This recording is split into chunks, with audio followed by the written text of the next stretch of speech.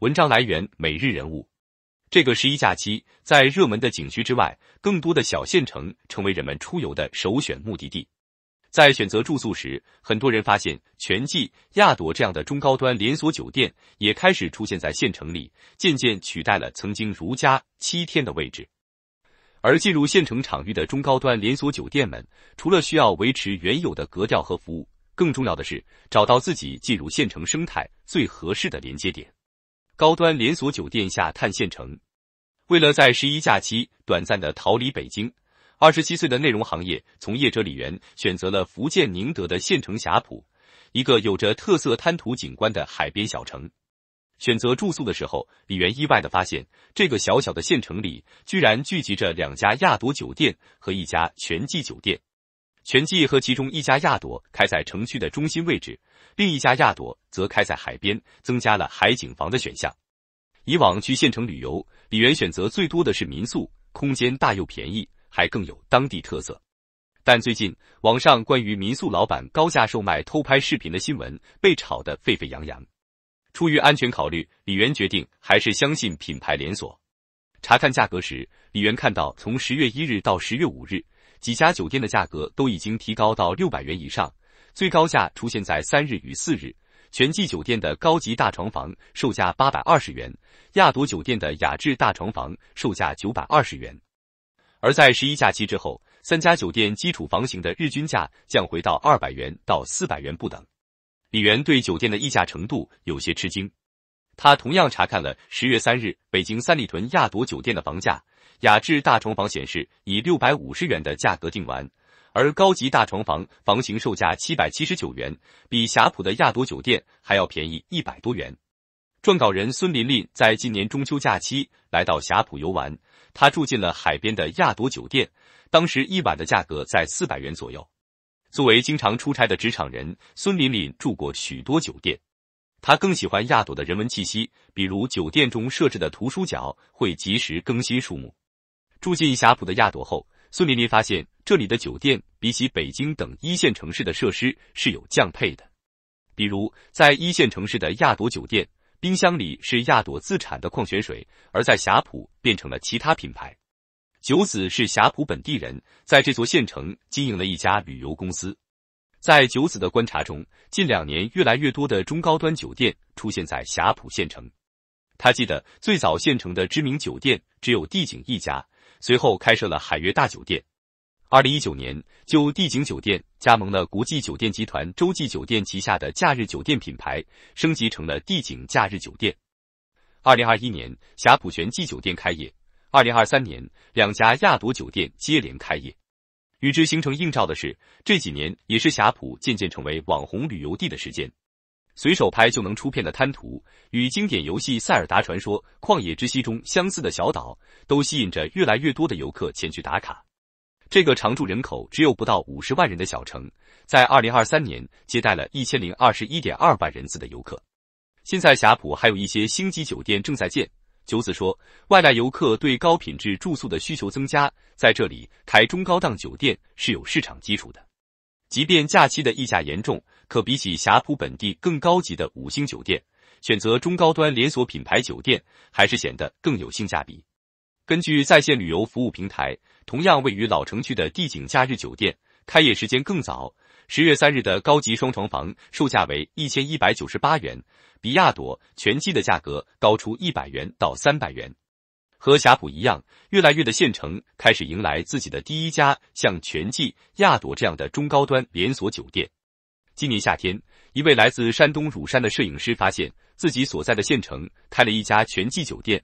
他从酒店门口拍摄的夜景，整栋大楼用霓虹灯条装饰，自下而上闪着动态的灯光，并配文：“晚上的全季酒店真的很漂亮，灯光美轮美奂，仿佛置身大城市。”谁能想到，这是十八线小县城乳山所能拥有的酒店？距离长白山景区最近的小镇二岛白河，一家别墅外观的亚朵酒店正在准备开业。它离长白山北坡集散中心只需要六分钟步行路程。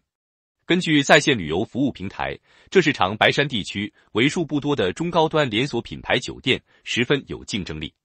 传统酒店业态中，依据不同酒店提供的服务水准，将酒店划分出一星到五星的等级。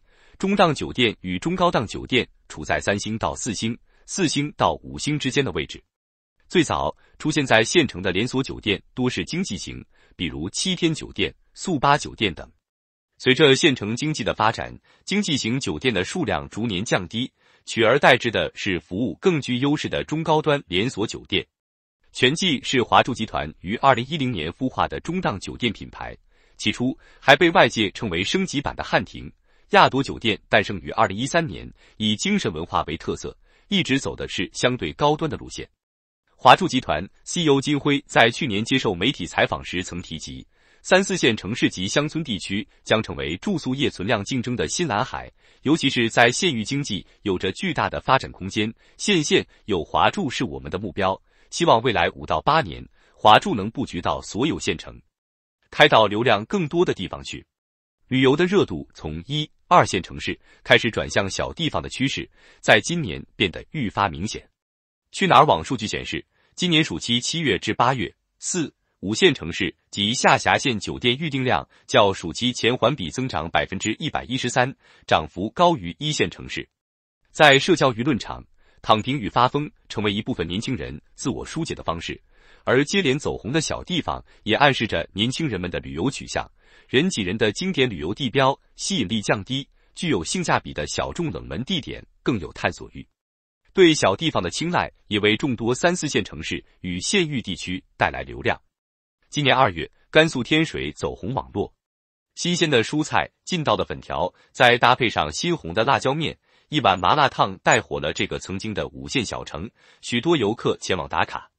根据报道，三月份天水市累计接待游客四百六十四万人，收入二十七亿元。因为一种特定食物而走红的地区，天水不是第一个。二零二三年，山东淄博同样因为性价比超高的烧烤受到关注，一时间进淄赶考成为许多游客的旅游风向标。旅游目的地的下沉，加速着中高端连锁酒店进入县城的速度。除了本土酒店品牌，同样布局下沉市场的还有万豪、希尔顿、洲际等老牌国际高端酒店集团。今年年初，万豪公布了二零二四年中国筹建酒店名单，百分之三十的新开业酒店位于三线及以下城市，其中湖州南浔、宣城泾县等三四线城市也在扩张版图中。社交平台上也出现了许多想要在当地县城加盟中高档酒店的求助帖。今年下半年，连锁酒店品牌创始人江浩平在社交平台看到了一则帖子，对方说想在县城加盟一家连锁酒店，不知道是选择全季还是选择亚朵。江浩平给对方留言，建议分析当地县城是否有足够的资源支撑连锁品牌酒店的体量。酒店是一个重资产投资行业。江浩平说：“动辄几百万、上千万投入进去，所以要跟着大的周期去考虑。比如说，分析这个县城的人口结构、旅游资源、客户需求等等。不论是连锁酒店的扩张，还是自己经营单体酒店，县城自身的旅游资源都是重要的考量因素。尤其是全季与亚朵这类中高端酒店，如果没有稳定的外地客源，是很难承载酒店的运维成本的。”比如，众多中高档酒店纷纷入驻霞浦，和这座县城丰富的旅游资源分不开。在四川列岛走红网络之前，霞浦早就以独特的滩涂景观闻名中外，旅游业是这座县城的重要产业。在二零二三年，霞浦的旅游收入预计超过一百亿元。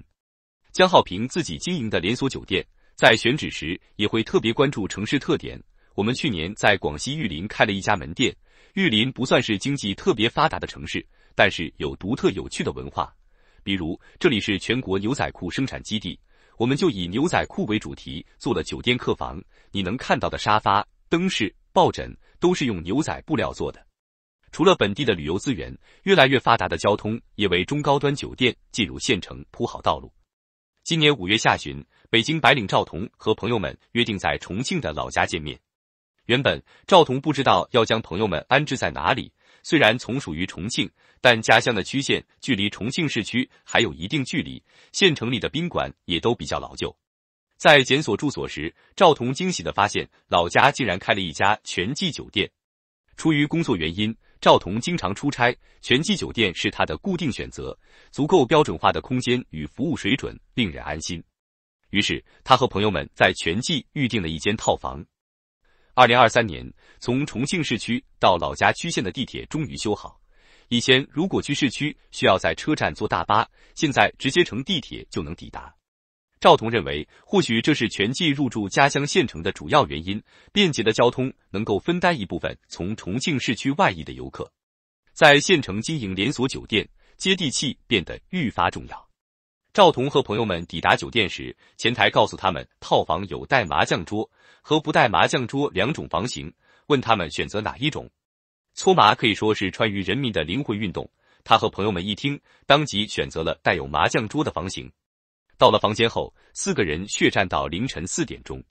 作为全季酒店的常客，赵彤此前从未在其他地方听到过带麻将桌的选择。县城里的连锁酒店考验的更多是人与人之间的关系经营能力。江浩平说，比如和当地单位与当地居民，即便是在富有旅游资源的县域地区，也会分旺季与淡季。如果说旺季时不愁来自一线城市的旅客。那么，在淡季就需要酒店各自大显身手，寻找经营稳定的客户人脉。发现霞浦的连锁酒店溢价严重后，李元开始在社交平台搜索能优惠订房的方式。他加上了一个亚朵酒店的销售，问十月三日这晚的房型价格，对方回复的价格要比从线上订便宜一百元。虽然还是比往日的价格高，他考虑毕竟是黄金周假期，还是付了一半定金定下了这个房间。这位酒店销售为人热情，李元提到自己比较喜欢吃海带，对方立刻介绍霞浦是海带之乡，可以从当地商业街买特产直接寄送回去，还告诉他来到霞浦可以去看连绵的码头，这些都是当地的风土人情，很有特点。酒店销售是一个略显复杂的职业，从各大酒店的招聘需求来看，岗位大多既要负责招待客户，也要负责拓展与维系客户资源。江浩平说。以往全国各地的商务需求旺盛，接待固定集团公司的商旅人员是酒店销售的重要工作。但最近两年，很多活动和会议都改在了线上进行，需要开会和出差的频率减少，自然也影响了酒店订单。来到县城之后，随着中高端酒店下探县城，一些在县城原有的售价百元以下的宾馆的生意变得困难。去年十月。一位叫做满满的网友在社交平台上分享了自己经营小旅店的帖子，从盘下酒店到改装都留下了记录。他的旅店名字叫做金望宾楼，应客人要求把浴巾、面巾都换成了一次性的，也在后期安装了吹风机，但酒店的入住率还是低。评论区有网友认为，这种略显陈旧的宾馆无法吸引年轻客群，集思广益了许多改造建议。比如全屋装修、整体视觉设计等等，如此一来，需要改造的费用就多了。一位网友给他评论自己在成都住的一晚二百九十元的酒店，附图原木风的设计十分整洁。满满回复称：“我这里八十一晚，连人家零头都没的。”更低的投入成本意味着县城单体宾馆无法像连锁酒店那样标准化。类似于亚朵、全季这类中高档酒店开到县城后，更是视觉与体验上的降维打击。一些来自一线城市的单次游客，对比我们这种单体酒店，可能更愿意去选择全季。马宁说，他在张家口崇礼经营着自己的单体酒店，名字并不时尚，叫做鸿祥宾馆。崇礼原本是张家口市内的一个县城，后来撤县设区。为了承办二零二二年北京冬季奥运会。崇礼专门建设了一块新城区，马宁的酒店就开在这里。在县城开酒店是马宁思考了两三年的决定。他是户外运动爱好者，平时喜欢和朋友一起徒步、登山。而崇礼除了广为人知的滑雪资源，山区地貌也是许多越野爱好者的热门选择。对于户外运动爱好者而言，住宿的性价比是更加重要的。比如说，在北方长达五个月的雪季里。许多学友的需求是在滑雪场附近找到一个可以长租的住所，方便他们随时过来雪场。马宁正是观察到这个需求，才决定不加盟连锁，而是选择自己开店。连锁酒店会根据旺季淡季进行调价，有时溢价会变得夸张。一家开业于二零二二年的全季酒店与马宁的宾馆隔了一条街，这个位置距离当地人气滑雪场富龙滑雪场很近，交通也便利。对比全季酒店的全屋智能和设计优雅，马宁觉得自己的优势在于价格不会有太大变化，能够自己决定，可以让追求性价比的顾客有所选择。而以体验滑雪为主的单次旅游客人，马宁认为自己这类单体酒店可能不会是他们的首选。比如在淡季，全季的房型卖二百多元，我的卖一百多元，对于单次旅客而言，这个价格拉不开差距的。他说。所以在一年多的经营里，马宁摸索出了单体酒店的一套打法，和固定客群保持联系。几乎所有入住宾馆的客人，马宁都会与他们交流，得知他们来到崇礼想去哪里，什么地方可以避坑，什么地方更值得一去。他认为中高端连锁酒店的经营模式很难和他一样提供近乎定制的服务。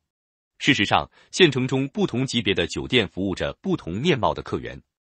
二零二四年六月。豪华酒店崇礼洲际酒店开业，马宁听罢没有过多危机感，因为这和他自己的酒店更不是竞争的关系了。越来越多高档酒店开到崇礼挺好的，马宁说，这代表县城的发展越来越好了。根据公开数据，目前中国有两千八百四十四个县级行政区，中高端酒店还有足够的空间探索县域地区的经营模式。这是一场住宿标准化的教育，同时伴随着挑战。江浩平认为，对连锁酒店而言，更重要的是对地点的选择，而不是盲目下沉。在回到家乡的那几天，赵彤发现县城饭店里探店博主的身影多了起来。他们一般出没在尚未被外地人所知的特色餐馆，支起自拍杆，用手机或相机记录分享家乡的美食。而全季酒店的开业是一个标志性符号。代表着他的家乡县城似乎已经准备好迎接某一天到来的流量洗礼了。